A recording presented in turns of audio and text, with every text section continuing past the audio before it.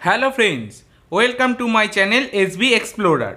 আজ তোমাদের KKR, Mumbai city FC ও ইস্ট বেঙ্গল নিয়ে কিছু আপডেট দেওয়ার আছে। তো ভিডিওটি শেষ পর্যন্ত দেখতে থাকো, চলো শুরু করা যাক।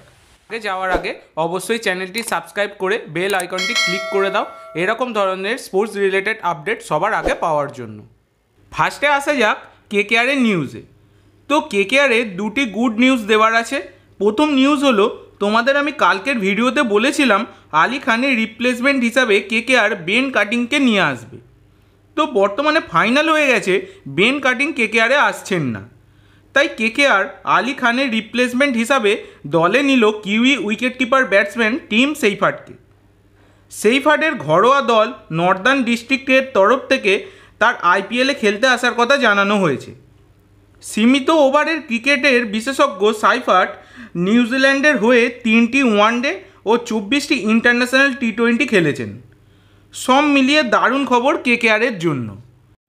এবার আসা যাক কেকেআরের সেকেন্ড নিউজে তোমাদের আমি আগেই জানিয়েছিলাম, সুনীল নারায়ণের পাঞ্জাব ম্যাচে বোলিং অ্যাকশানের জন্য রিপোর্ট জমা পড়েছে। তাই তিনি বোলিং অ্যাকশান চেঞ্জ না হওয়া পর্যন্ত কেকেআর ম্যানেজমেন্ট তাকে নিয়ে রিস্ক নিতে চায়নি। তাই কয়েকটি ম্যাচ তাকে খেলায়নি। কিন্তু বর্তমানে সুখবর হচ্ছে যে সুনীল নারায়ণের বোলিং অ্যাকশানে কোনো সমস্যা নেই বলে জানিয়ে দিয়েছে আইপিএলের সাসপেক্ট বোলিং অ্যাকশান কমিটি। নারায়ণের নামও ওয়ার্নিং লিস্ট থেকে সরিয়ে নেওয়া হয়েছে। যার ফলে নারায়ণের বল করতে আর কোনো সমস্যা থাকছে না। এবার আসা যাক মুম্বাই সিটি এফসির নিউজে। তো ফ্রেন্ডস, মুম্বাই তিনটি প্লেয়ারের সাইনিং কনফার্ম করে দিয়েছে। ফারুক চৌধুরী তিন বছরের কন্ট্রাক্টে মুম্বাই সাইন করে দিয়েছেন তো আগের মরশুমে তিনি জামশেদপুর এফসিতে খেলছিলেন। হুগো ভুমাস দু বছরের জন্য মুম্বাই সিটি এফসিতে সাইন করে দিয়েছেন। আগের মরশুমে তিনি এফসি গোয়ার হয়ে খেলছিলেন। আর মোর্তাদা ফল দু বছরের কন্ট্রাক্টে সাইন করে দিয়েছেন মুম্বাই।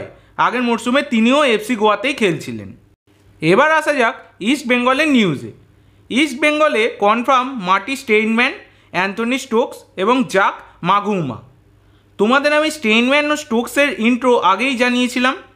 তোমরা যদি ভিডিওটি দেখে না থাকো, তাহলে ভিডিও শেষে লিঙ্ক পেয়ে যাবে।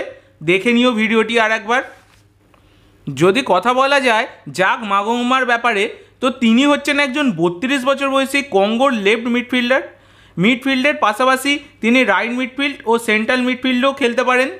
বর্তমানে ফ্রি এজেন্ট থাকায় তাকে অফার দিতে অসুবিধা হয়নি ইস্টবেঙ্গলের ইংলিশ চ্যাম্পিয়নশিপে অত্যন্ত পরিচিত মুখ যাক।